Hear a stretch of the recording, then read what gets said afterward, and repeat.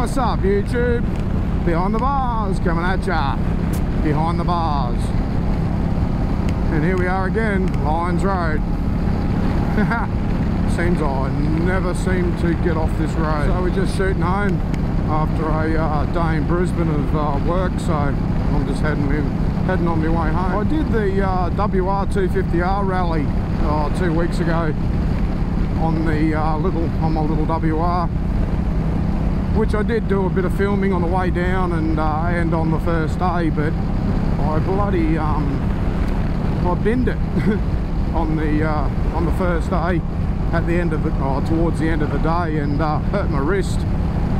So um, I didn't ride the second day. I just sort of headed for home back up the highway because uh, yeah I've done some I've got previous injuries on my wrist and I sort of aggravated it a bit so I couldn't actually ride the Sunday so uh, a lot of the footage on that that I got was okay but I really can't do any much with it so I'm not going to worry about uploading any of it.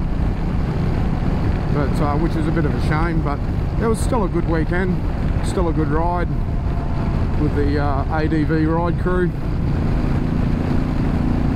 But yeah other than that I'm just sort of getting geared up now waiting for the uh, weather to clear up out of the Simpson Desert so that we can go and have another crossing of the Simpson Desert again this year.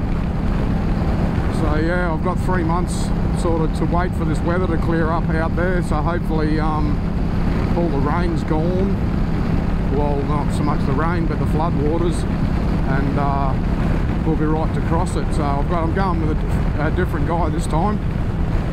So uh, it's his first trip across the desert and it's his first trip out west so he's really looking forward to it. So I really don't want to disappoint him. I want to make sure that we can get out there. So hopefully if uh, everything lines up we'll do another double crossing unsupported of the Simpson Desert. So looking forward to that again this year.